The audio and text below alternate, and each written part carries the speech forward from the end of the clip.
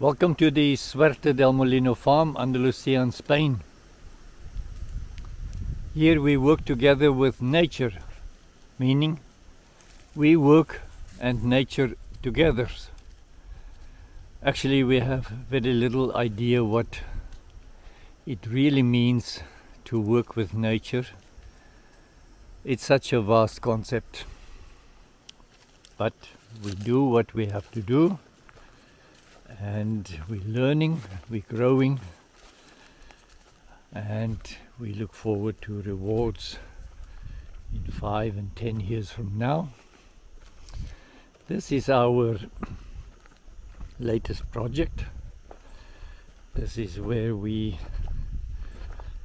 tap into the occasional creek and then spread some small amount of the water over the rest of the farm. This is a creek that was sabotaged uh, by placing a culvert under the road and forcing the water through the pipe.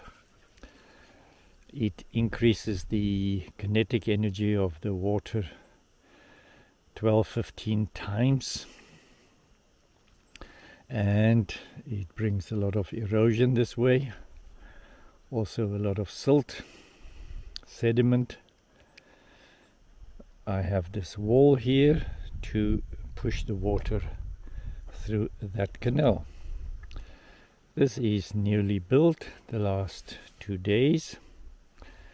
The side outside of the fence is done with stone because I want this a natural area and it should overflow.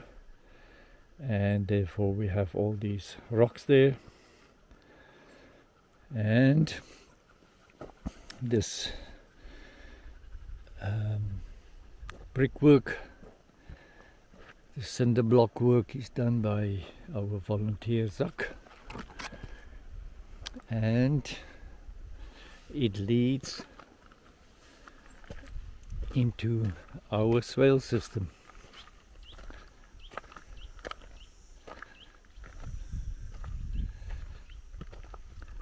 This has now been opened.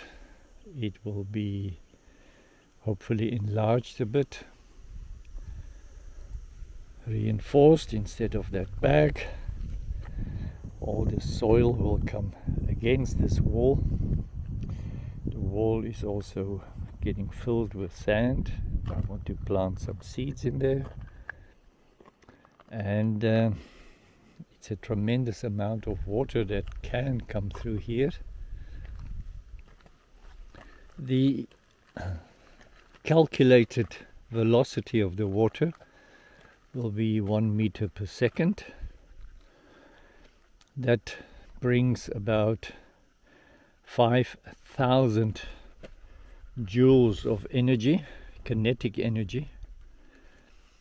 And uh, for my small brain to understand this, it's about the energy trapped in half a peanut. That doesn't sound much, but it's also um, about a hundred times more than what it takes to lift one liter of water one meter high. It's also the energy that is required, about 20% of the energy that's required to run your mobile phone, your smartphone per day. So, according the calculations, we have done it will have erosion but minimal on that earthen wall there. So we are proud of this. Uh, all this should be backfilled. All this earth should come back this way against this cinder blocks the dogs are moving slowly because it's hot. One of our 39 40 degrees Celsius days. The water fills up that basin. All this stonework is exactly the same height. And then the cinder blocks are a little bit higher. So I want it to spill over this way. We have a lot of stones in here and uh, all these ones will go there to create some form of leaky weir. Under this soil dirt is a lot of stones. I will not endeavor to move the soil and the water will do it for me and expose the stone, the rocks. So creek, inlet of water into our canal. Swale. And then we will have to upgrade the different swale systems to cater for much more water that will come this way. This swale here is uh, quite uneven, the base of it, because of the roots of these um, holm oaks.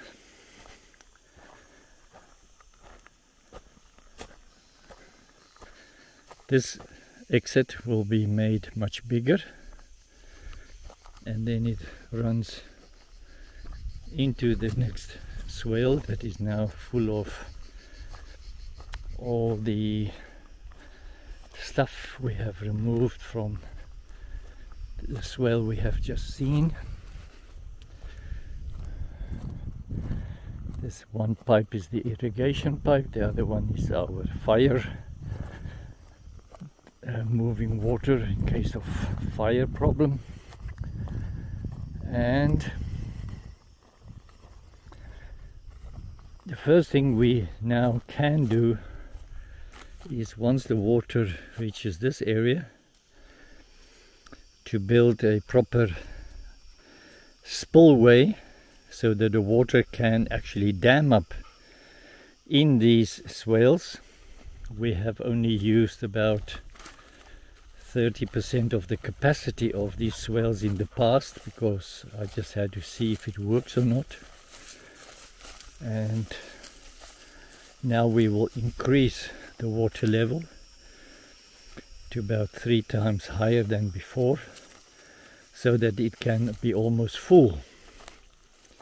Full to what it can hold by preventing the water to leave something like this. This is my walkway. I will have to make sure that that is high enough to keep the water in the swale.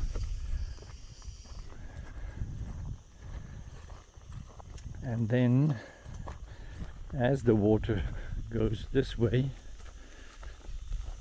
I have a few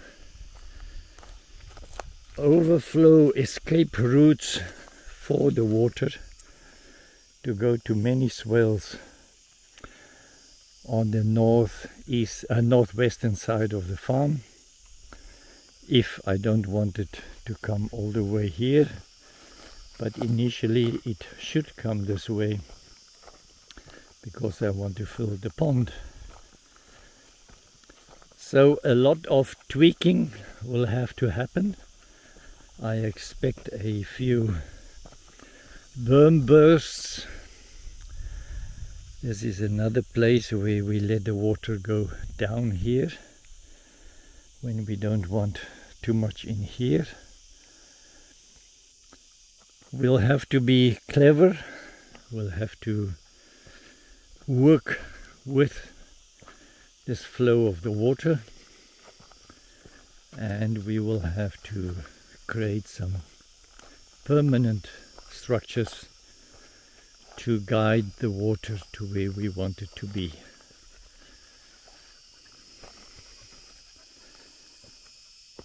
This is one of the two earthwork programs we have. The other one is with the other culvert system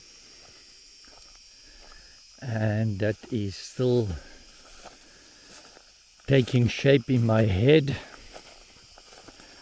And we have received the cinder blocks and the cement and the stone and the sand to work on it.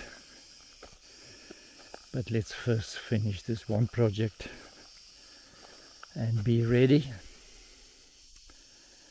Trees are suffering.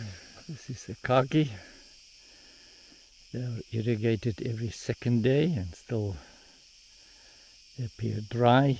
This is the second dormant period of the year, midwinter and midsummer.